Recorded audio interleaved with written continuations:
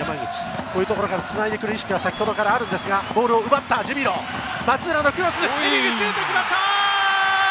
川又先制点。今シーズン4点目。ジャストミートのヘディングシュート。キム・ジンヒョンとの距離は1メートル。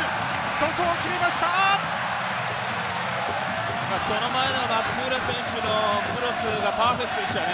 あはい日本代表コーチ森保さんが見つめる前で川又アピールのゴール。ここです。セレスはつなごうとしたんです。ここいい切り替えでしたよね。ええ。